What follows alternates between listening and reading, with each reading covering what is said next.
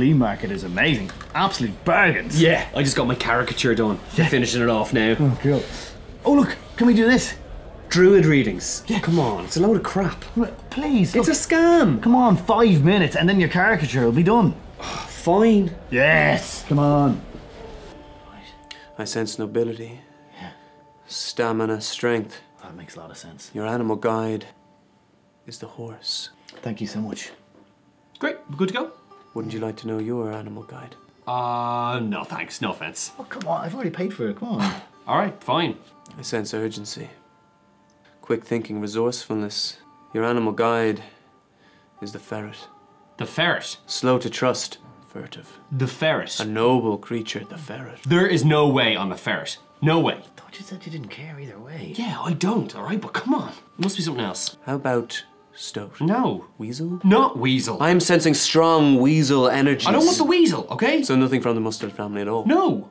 Skunk? Obviously not. I might have one. What about the lion? Lion. Really? Yeah, you know, you're, you're, you're proud, you know, a bit lazy. Oh, yeah, you let your girlfriend do all the work. No, I don't. Oh, he has a hairy neck. No, I don't. What about the eagle? Oh, yeah, because you're balding. No. Because you think you're above everyone else. No, I don't. Because I'm majestic. You know, strong, quick to strike. Like the hippo? No, not the hippo. Not the hippo. They're ridiculous looking. Novelty animals. The animal chooses you, not the other way round. What animal did you get? The great elk. Oh, he so happens to choose an awesome animal for himself. It could just as easily have been a field mouse. But it was an elk. A great elk. Oh. Great elk.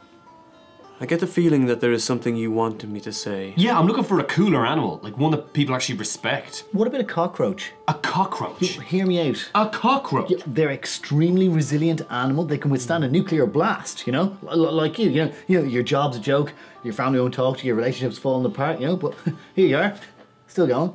A cockroach. Plus, he'll eat just about anything. Cheers. It does sound like the cockroach fits. You know, I think I'll go with the ferret. Yes, the first reading is quite often the most accurate. I found that. Did you? Yeah. Now go, graceful horse. Gallop forth into the sunset, my noble steed, and you scurry back to the safety of your gorse den, my long-nailed mustelid friend. Can we possibly? No refunds. That was very interesting. Complete waste of time. There you go. Like it.